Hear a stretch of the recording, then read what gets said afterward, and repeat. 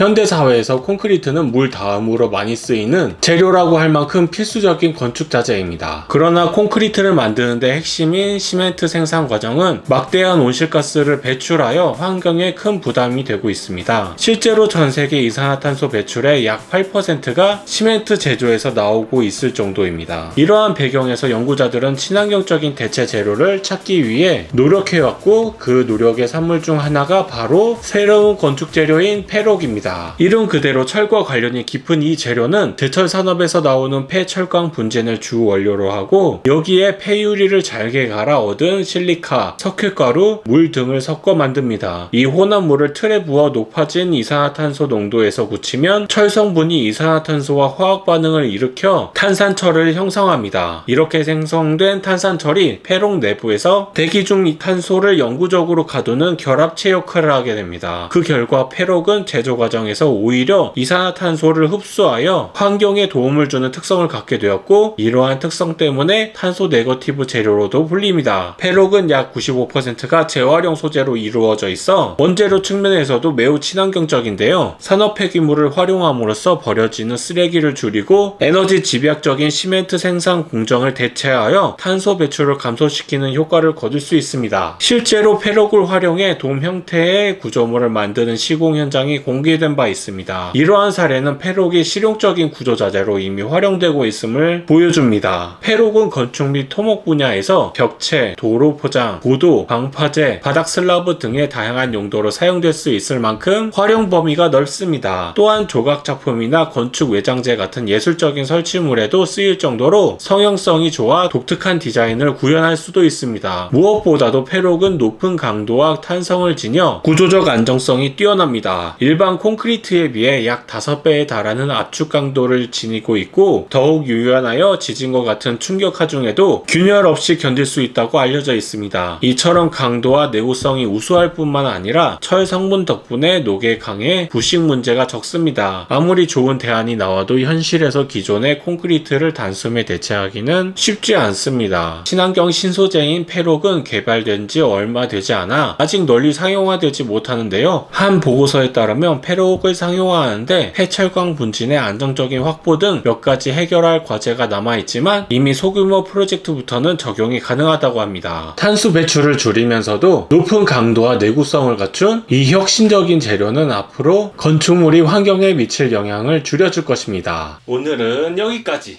이 이야기가 조금이라도 여러분에게 도움이 되었으면 합니다. 여러분의 구독과 좋아요는 영상을 만드는 원동력이 됩니다. 다음 영상으로 다시 만나겠습니다. 감사합니다.